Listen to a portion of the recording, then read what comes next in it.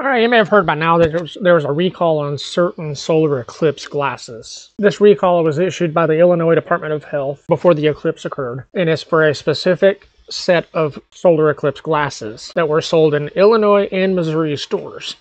Now, they were also sold on Amazon as well. Uh, the specific name is the Biniki Solar Eclipse Glasses AAS cert approved 2024-CE and ISO certified safe shades for direct sun viewing, parentheses, six packs. Uh, the glasses are labeled ENISO 12312-1 colon 2022. Properly safe glasses are labeled 12312-2. So if you have any that are 123 12-1. Don't use them. Don't look at the sun. Let me call on, guys. A lot of people are saying this is a conspiracy theory that the government doesn't want us looking at certain things. They don't want to see them and they, all this crap. Which is, you know, it's a fun, it's a fun story and you know, and all this crap. And it, it, it is true.